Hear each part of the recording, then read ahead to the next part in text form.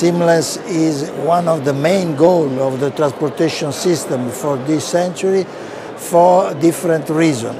Uh, first of all, because seamless means higher efficiency of the transportation systems, which is important for the efficiency of our industries.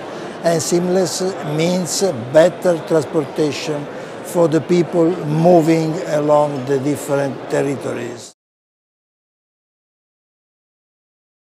Seamless is a very difficult, uh, fascinating concept, but uh, very difficult to achieve uh, because uh, a lot of obstacles until now have avoided a real and effective seamlessness. To start to discuss this concept, to find uh, uh, the obstacles and to try for the right solution is the best way for starting in this direction.